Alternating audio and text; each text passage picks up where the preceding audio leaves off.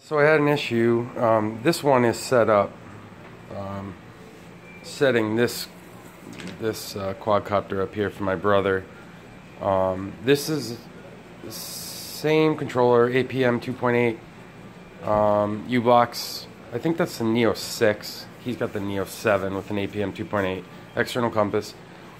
Um, upon getting all this correct with this copter, um, on takeoff, it would it would come off the ground and wobble really bad, out of control, and end up falling to the ground. And um, I mean, I checked everything. I checked ESC calibrations, um, prop direction, recalibrating accelerometer. And even though I did it in the settings, um, the actual issue was the fact that the when, when the frame type was selected when the frame type was selected it did not lock in the correct frame type and it was using plus. And this is the next configuration. Where that comes into play is your motor rotation and um, the spots there on the outputs. So what I'm going to do is I'm just going to go into the connect to it and go into the parameters quick and and show you um,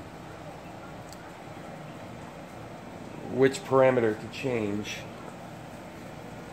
um, if yours does not.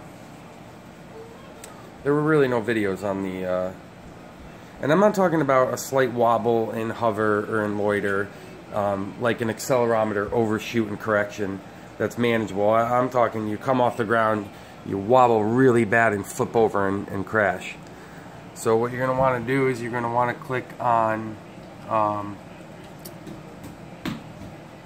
you're going to want to click on parameter tree. And we're going to go down to frame here. And you'll see 0 is plus 1 is X. Um, if you're using a quadcopter you're um, probably going to use two of them or you could do H. But mine was at 0 which would be plus even though I selected the frame type, it just didn't take. So once